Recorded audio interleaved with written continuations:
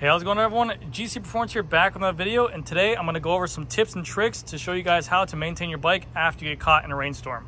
So let me paint a picture for you guys. Uh, you just drop off your bike at the bike store. They have it for uh, a day to three days. They do a whole major tune-up. They take apart your whole bike. They clean it up. They grease it. They relube everything. You take it out on your first ride and you get caught in torrential downpour and you're like, damn, I don't want to drop my bike back off. I don't want it to be down for another couple days. I just want to go ahead and ride again and uh, relube myself. So I'm today I'm gonna show you guys what you guys will need or what I do as a mechanic to kind of go ahead and prolong that situation. So as you guys can see, the weather's been kind of crappy over here in South Florida. Um, it's been raining the past couple days. I rode uh, two days in a row and I, I, got caught in some rain and also got caught in some big puddles. We can see here we have a bunch of sand over here.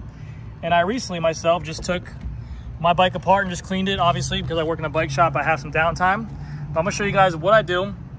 So uh, if I'm just feeling lazy or if I just you know don't have the luxury of being able to clean out my bike store, like a consumer like you guys, show you guys what I do to go ahead and prolong my derailleur, uh, the cassette, the chain, uh, what I spray on these bolts to make sure they don't corrode. Because what can happen is that if you leave this stuff unattended and it gets caught in a massive rainstorm or even puddles, big puddles and stuff like that, um, this stuff can dry out it can eat great. Uh, it can eat away your lube. It can cause it to uh, wear down quicker. So an unlubed chain, unlubed cassette, they'll wear down faster. It'll be very noisy. It won't be as efficient either. You'll be working harder. And also I'm gonna show you guys where to spray or what to spray on your derailleurs as well and kind of take care of some normal stuff like your bolts and everything like that. I'm not gonna go over your bottom brackets, your hubs, uh, the, the headset bearings. In hindsight, all that stuff should be kind of sealed. Obviously, we know the stuff does wear out and water does seep in there. But this is just kind of like a quick tip to get you guys ready for the next ride if you guys don't want to drop it off the bike shop. So let me get a stand. I'll show you guys what I'm talking about. All right, so first off, what you're going to want to need is something like this. Now, Muc-Off is not sponsoring this video. They do not have any affiliation with me. I just work in a bike shop, and this is why I feel it works best for my occasion. This is called Muc-Off MO94 multi-use spray. We used to, a long time ago, use GT85. Something similar to this. Is an aerosol spray that's kind of like a a uh, rust present, uh, preventative and also like a lubricant. So basically what this is, just let you guys know, says right here, disperses moisture, prevents rust and corrosion, provides light lubrication for moving parts. Dude, don't make fun of my reading. Reduces metal to metal contact, cuts down friction to improve com component efficiency, compound efficiency. So basically this stuff works really, really well to stop corrosion. And here in South Florida, like I said, we ride right by the beach. There's a lot of salt in the air. This stuff works great. You're gonna want a little straw right here too to get a little bit more of an accurate spray. I'm gonna show you guys exactly what I do. In this video, like I said, I'm not gonna go over the bottom bracket. I'm not gonna, you guys, if you wanted to, you could take it a step further, spray this thing down with a hose real quick, uh, get all the dirt off there. But let's just say in this case, I'm very lazy and uh, I'm kind of ticked off. I just got this thing cleaned. So let me get you guys down beneath there and I'll show you guys where I spray this at. Again, this stuff works really, really good. This is like WD-40, but for bikes. Uh, I keep this stuff in my house for uh, key locks, door hinges. This stuff works really, really well, and I'll show you guys exactly how to use it. All right, so we're gonna start our way off from the back of the bike and work our way forward. So I'm at the back of the rear derailleur. I'm gonna have myself a cloth as well. What we're gonna do with this, we're gonna catch the overspray with this aerosol spray, okay? So what I'll do is I'll look for all the pivot points on this derailleur. Boom, boom, boom, boom. And what can happen is if you don't attend to these and you don't take care of these overall, yes, you're obviously shifting up and down, but the more you don't have any kind of lubricant on these contact points or this stuff moving up and down, it wears over time and will start to kind of freeze up. Especially down here in South Florida, I've seen it all way too much. So what I'll do is I'll take my rag like this, go behind the derailleur, spray right at this contact point here, right here, and we can, you know, it, it, this stuff will not hurt anything on here. You can literally soak this whole derailleur inside here, kind of work it there. I'll even hit some of the, uh, the limit screws in the back. You have your high and low limit screw. You have your B tension bolt right here as well. And I'll hit those because those bolt heads over time as well, um, if it's not like a high-end titanium bolt, that stuff can corrode as well. And then I'll take this stuff and kind of wipe it in.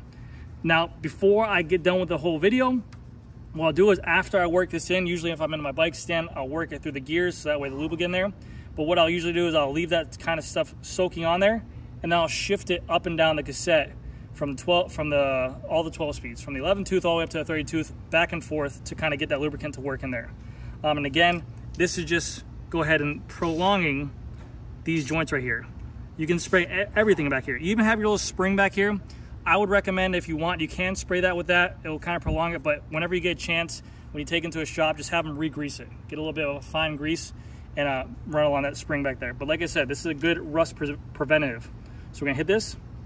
Um, your wheels right here, depending on what you have, you have stock pulley wheels. If you have CeramicSpeed OSPW wheels or these are Nova to Ride OSPW wheels, CeramicSpeed does offer a little tube of pulley wheel loop that you can actually insert into here. Uh, these ones, I believe, are coated ball bearings, so I don't really need to do anything um, unless I want to take the preventative course to do it. Again, these should be packed with grease, but what I'll do on mine, every once in a while, especially the dry, I'll hit the bolt heads with them. And I'll go around the back and I'll hit the bolt head with that as well, just to make sure that we are uh, good. So that way, if I did ever want to service this and take this apart, these bolt heads will go ahead and loosen up later on down the road. Okay, so now let's move our way to the front derailleur. All right, so now that we're at the front derailleur, we can see here, we have some pivot points as well. So we have a pivot point here, a pivot point here, a pivot point here on the opposite side, and another pivot point here as well. We also have up here, and then we have some springs in the back right there as well, you can see. What you wanna do is you wanna go ahead and tap although. So we're gonna hit that right here. Again, just small little sprays. That was a big spray, but something like that.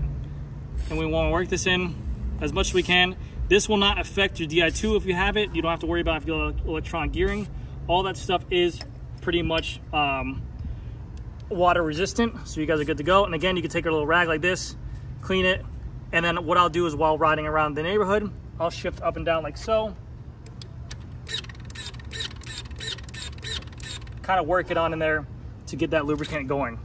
Because especially your front derailleur, again, I'll use my situation because we're in South Florida, a lot of people don't engage in the front derailleur. I'll see this happen so many times where people rarely will move their front derailleur up or down because it's so flat here that this literally gets stuck in the same position and then they have to end up replacing it or they're saying hey i'm going to do a a trip with the guys and my front derailleur is not working and then we have to outsource some front derailleur there's no coming back once I think it's frozen um, there's a lot of hard working put into it but usually what ends up happening is we have to replace the whole thing and especially if you have electronic you want to stay on top of this so go ahead and spray your pivot points here and here now this one is a little bit extra credit, and especially because I have the power meter pedals, I don't want to tell people to do too much. But a lot of times what I'll see is on Shimano pedals or Look pedals, these springs that actuate your cleats to clip in and out. Now these are these are practically, I only got about 1,500 to 1,800 kilometers on these things right now. So they're pretty fairly new as well. Um, but I will, over the time, especially when I get caught in the rain or something like that, I will take my rag, hit right here, and kind of spray these things so that way they just stay nice and fresh spray them right there. I'll spray the tension rings right here. And just to keep everything where they should be at. I don't even really hit the spray contact point. If you want, you can spray some lube on the rag and rub it on here. But just remember to go back over with some alcohol so that we don't have a, a slippery surface right there. But the pedals as well, I've seen them if they're not being used as much or clipping in and out. Let's say you ride in the rain and then you forget about it for a couple months. Uh, that is something that rusts pretty quickly on a cheaper pedal for sure. So that's just a little extra if you wanted to. It's not needed on the Keo blades uh, because they use a carbon fiber blade to get you in there. But the springs are there. That's always one that I always hit. Now, bottom bracket, like I mentioned, that is sealed. That is grease. We don't want to touch that. Headset, that is, that is supposed, they always say they're sealed. They're grease. We have enough grease in there. We don't want to worry about that stuff. If you get caught in a lot of rainstorms or you start to feel get notchy, that's when you want to take it apart, replace bearings, uh, stay on top of those things, grease that stuff up. But uh, now what we're gonna do is we're gonna go to the uh, bolts on the bike. I'll show you guys where to touch those at. So this part of your bike can get really nasty because of the fact that when you're riding, your head is basically over the stem. That's where a lot of sweat drips off of people and goes right onto this area, the headset, the front end of the bike, uh, the stem bolts themselves. This case, I have an S-Works stem and it comes with titanium bolts, so I don't really have to worry about this as much. But on my older bikes, I didn't have titanium bolts. I basically had just basic, basic uh, hardware on there after a while, I would start to see sweat or salt water corrode on top of here. They cause the, uh, the paint to come off. They cause whatever kind of finish on the bolt to start rusting or whatever. And especially because when you put a tool on here, it'll start to scratch away that surface. So what I can go ahead and do, just show you guys for example, I'll take like this, and I'll grab my, my cloth, I'll literally spray the bolt heads themselves. and this will definitely prolong any kind of rust on here as well. You can hit the side bolt heads as well, and I'll just wipe that around there. And like I said, afterwards, I'll go by with a piece of um, uh, propylene alcohol. I'll go to this top end of the bar, and I'll go ahead and wipe off that excess of that lubrication. This is not a thick, thick lube. It literally feels like it's almost drying up as is. But again, this is just preventative tactics. You can also go as far as much as, if you want to be really precise, spray on your rag around these. These bolts are very crucial. Spray on a rag around these uh, seat binder bolts and hit these with just a little bit of lube. Because what will happen again, those things will start to get very soft and very corroded and it'll just look really nasty. But Specialized does a good job of giving you a little rubber cap on there. Now for the biggest part, we're gonna go to the drivetrain to show you guys how to stay above this. So let me show you. So you just got the bike back from the shop. Everything was done on it, but now you just rode through two rainstorms and now you start to hear your bike sound very dry and sound like a bird, uh, bird cage chirping away. What you're gonna wanna do for this one, I have a pretty good lube on here, but I'll show you guys what I do.